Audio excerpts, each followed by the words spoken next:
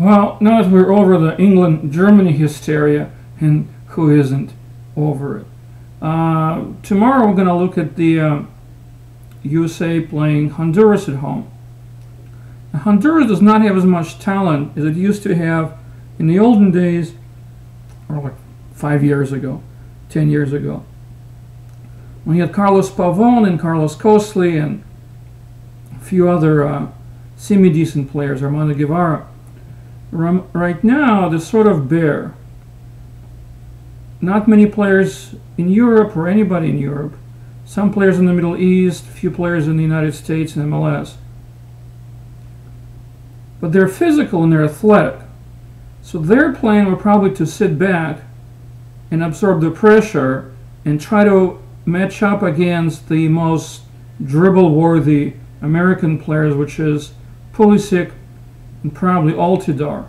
Altidore. Altidore. On the attack, they'll probably try to get through the U.S. left flank, depending upon who's playing there.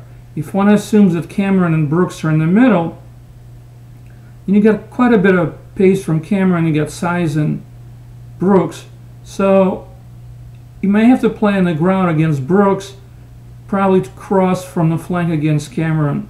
Cameron's pretty good, will make occasional mistake. Occasional mistake can become very lethal. US just have to do what Bruce Arena had tried to do since he was a young boy. Go wide, cross into the box. I presume Altidore and Dempsey will be in there, if there's an additional set piece opportunity, you have Brooks, you have Cameron, you have Bradley, you have Jones, you have some other midget playing somewhere. Jones not a midget. But I kid. Could happen. Let's watch it tomorrow, together, as a team.